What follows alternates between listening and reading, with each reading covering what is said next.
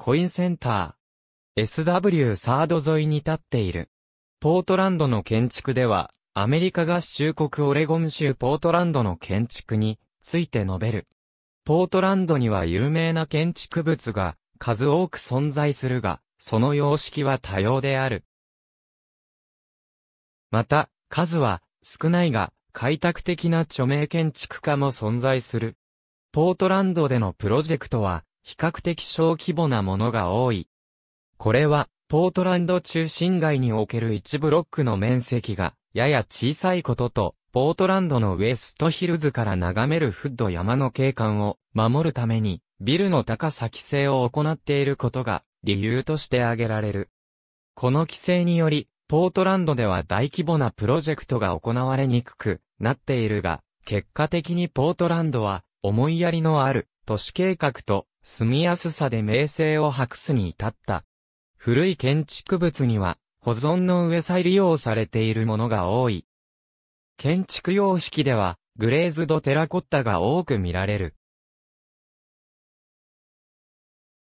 ポートランドは持続可能な建築の先進的都市であり、市内にはリードによって承認されたグリーンな建築物が多い。また、ポートランドは都市計画に優れた都市としても名高い。代表的な建築家にピエトロ・ベルーシがいる。彼は当初、エイドイルの建築事務所に勤務し、ポートランドで建築家として活躍し、1980年代までに、ポートランドで多くの作品を残した。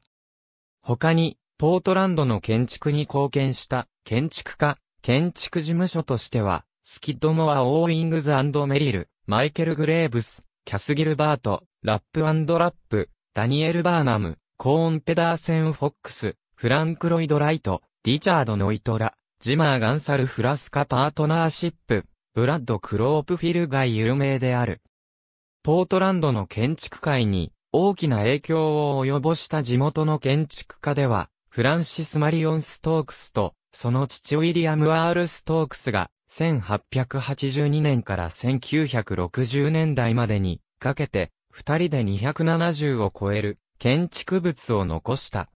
また、ビクトリア様式を得意としたウォーレン・ H・ ウィリアムズは、キャストアイロン建築である、ブレーゲンブロックや、スティックゴシックのスタイルで建てられた、オールドチャーチなどを残し、その一部は現存している。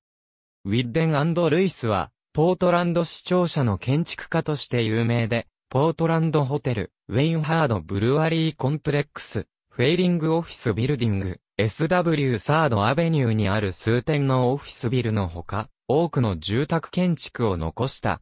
2008年現在、ポートランドにある高層建築物は以下の通りである。マーク・オー・ハットフィールド合衆国裁判所、ウェルズ・ファーゴセンター、US バンコープタワーコインセンター。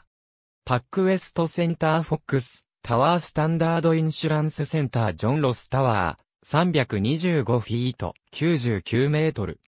2007年完成時アーディアコングレス、センターマークオーハットフィールド合衆国裁判所、オッズタワー1000ブロードウェイ以下は建設中、ベンソンホテルウィラメット側にかかるスティール橋、ポートランドには多くの橋梁が存在する。ありがとうございます。